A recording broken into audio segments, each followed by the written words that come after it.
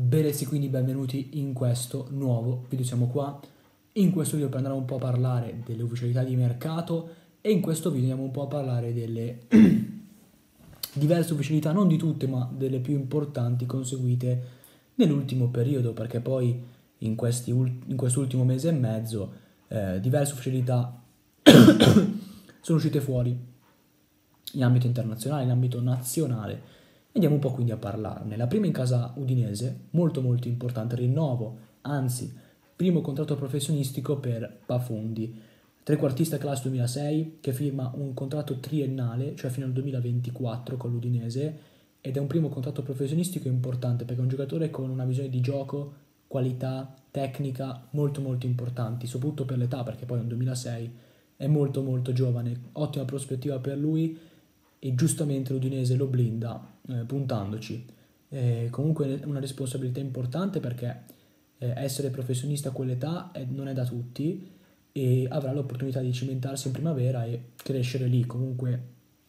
ripeto, sta già facendo molto molto bene, è un calciatore su, di cui stare molto attenti per il futuro. Detto questo, notizia eh, in casa in America in realtà perché Burki lascia l'Europa ed intraprende questa nuova avventura in MLS e lo fa firmando con il St. Louis City, portiere classe 90 che firma un quadriennale fino al 2025. Vi ricordo che in America non è come da noi che da, la stagione parte da luglio, ma parte da, dicembre, da gennaio comunque, dicembre-gennaio, ehm, mentre da noi è giugno-luglio il periodo dei contratti, quindi fino al 31 dicembre del 2025. La notizia è molto importante, un portiere che negli ultimi anni è stato un perno fondamentale del Borussia Dortmund, di garanzia, non è stato mai un portiere straordinario, un buon portiere, un, un portiere di, di, discreto livello che alla fine ha sempre fatto il suo, sia in campo che extracampo, e riparte alla veneranda età di, di, quasi 32 anni dalla, eh, dall'MLS, dove al St. Louis City rappresenterà certamente un perno per i prossimi anni, lo dimostra questo il contratto pluriennale. Detto questo,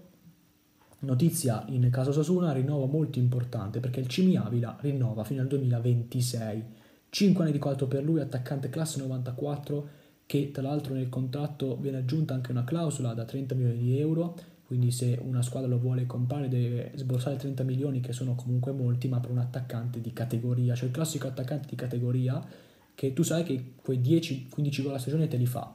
e Rosuna fa molto bene a, blind, a, blind, a blindarlo perché è un ottimo attaccante, ripeto, eh, nel campionato spagnolo ha sempre fatto bene e secondo me continuerà eh, anche in futuro. Ripeto, ehm, in, questo, in, questo, senso la notizia, e tra l'altro non è neanche vecchio perché ormai è nel pieno della carriera, quindi può ancora dare tanto e notizia sicuramente importante per la, l'Osasuna che eh, avrà come mh, anche nelle, nelle prossime stagioni l'obiettivo comunque di migliorarsi, ma in primis di Cento alla salvezza e grazie a Cimi Avila può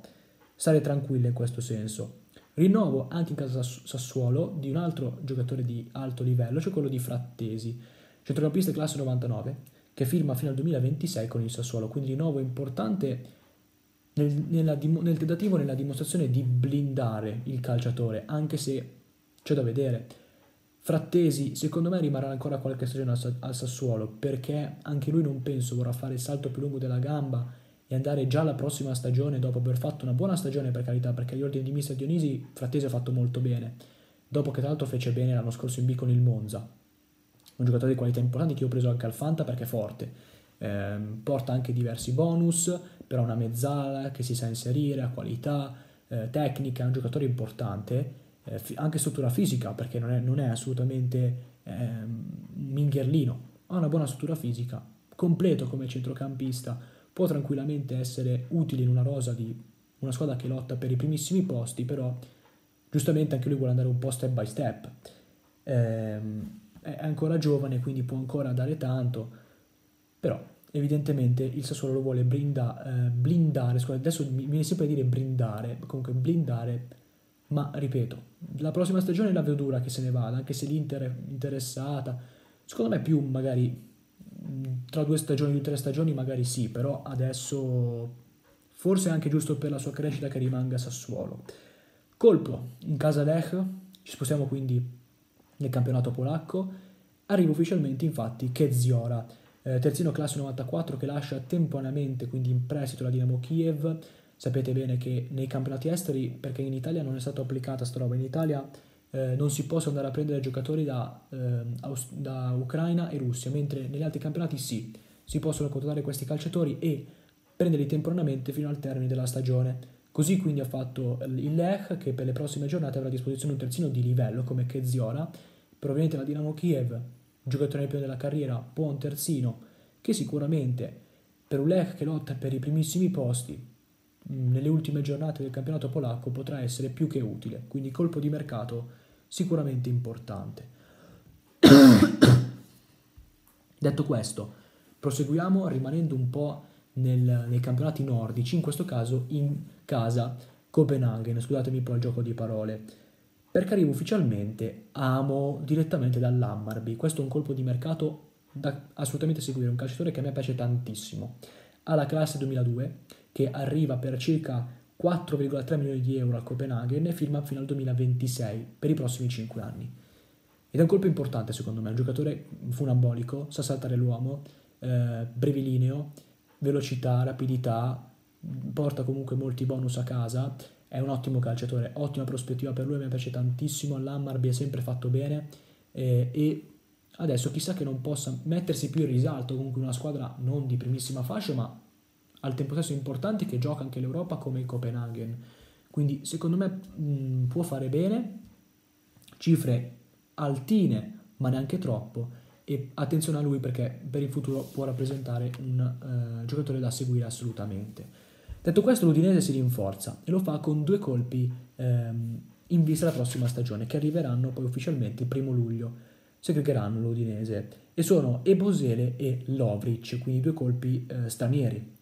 Il primo Ebosele è un terzino, classe 2002 che firma fino al 2027 con eh, l'Udinese, giocatore che eh, negli ultimi anni ha giocato in, eh, in Inghilterra, al Derby County principalmente, eh, in Championship ed è così il primo colpo di mercato che andrà a rafforzare l'Udinese della prossima stagione. Giocatore di buona prospettiva, che l'Udinese evidentemente ha valutato anche da vicino perché eh, il Watford gioca in Premier, quindi ehm, ha gli scout che possono valutare direttamente sul campo, comunque lì in, ehm, direttamente lì i calciatori dei, dei campionati minori,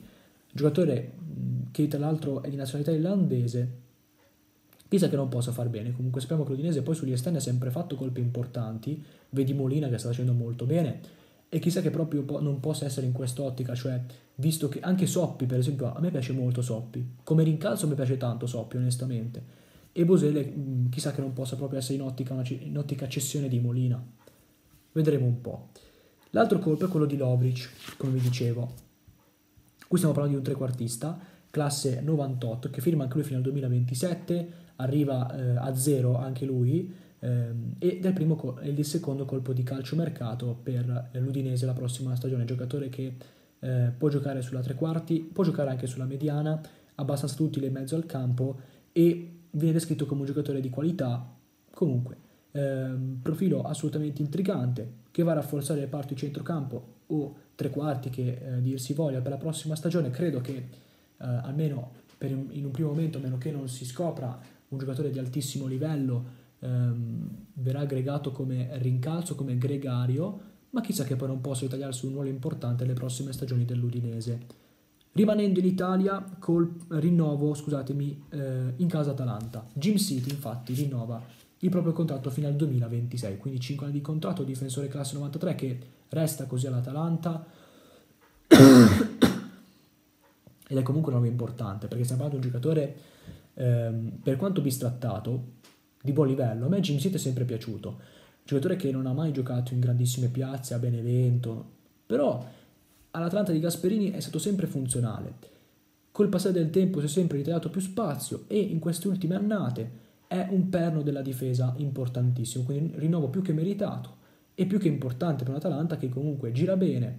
anche se in questa stagione sta facendo un po' di fatica, soprattutto in campionato dove mh, qualche sconfitta di troppo, forse si è un po' adagiata l'Atalanta, mentre aveva forse più fame eh, nelle, ultime, nelle ultimissime stagioni. Quest'anno un po' deludente. Però resta il fatto che Jim City è un perno importantissimo eh, della difesa, quindi nuovo più che meritato, ma così come è un nuovo importantissimo quello di Brozovic, che rimarrà fino eh, al 2026 all'Inter, quindi anche lui 5 anni di contratto, centrocampista classe 92 che rinnova quindi con la formazione nerazzurra ed è un rinnovo importantissimo, perché Brozovic eh, era corteggiato dal Barcellona, dal Liverpool, anche comunque da diversi club di, da diversi top club europei alla fine la sua scelta è quella di rimanere comunque in un club importante perché l'Inter non sarà un, uno dei top 5 club europei in Europa, però sicuramente nei, nei 10-15 c'è a livello di nomea, a livello eh, anche di eh, calciatori presenti in rosa. Brozovic ehm, è fatto, è un giocatore così importante che quando non gioca si sente la sua mancanza e questo vi fa capire quanto sia effettivamente importante nelle gerarchie della, della squadra ha fatto sia bene con ehm, Conte prima e soprattutto anche con Inzaghi poi, giocatore importantissimo, regista di alto livello, ancora nel pieno della carriera perché ha quasi 30 anni, non è assolutamente considerabile come bollito, anzi diversi anni ad alti livelli ancora li può fare, quindi rinnovo più che meritato, così come meritatissimo il rinnovo di Falcone con la Samp, Falcone anche lui rinnova mh, pluriennalmente fino al 2025, quindi 4 anni di contratto, portiere classe 95, che resta a Genova, ripeto, stra-meritatamente, portiere che da quando è stato chiamato in causa dopo l'infortunio di Audero ha sempre fatto bene, garantisce sicurezza, interventi importanti, para anche calcio di rigore e io ve lo dissi da, da tempo, cioè io ve lo dico da Cosenza che è un portiere da Serie A, cioè Falcone meritava una chance in Serie A perché è un portiere che è uno dei pochi portieri, perché solitamente i portieri buoni sono quelli che ti fanno ottime parate però poi ti fanno anche la cappella Ecco, io l'anno scorso, per quanto i, la, la, dimensione di Cosenza non sia straordinaria, per quanto la B non sia straordinaria, però io non mi ricordo, eh, mi ricordo pochissimi, io posso dirvi forse due o tre gol per colpa del portiere nostro, ma pochissimi, si conta su di una mano i gol presi per colpa del portiere, anzi, spesso e volentieri ci ha salvato, veramente un portiere di, al, di altissimo livello, che merita e di nuovo alla Samp, e spero che possano vendere Audero che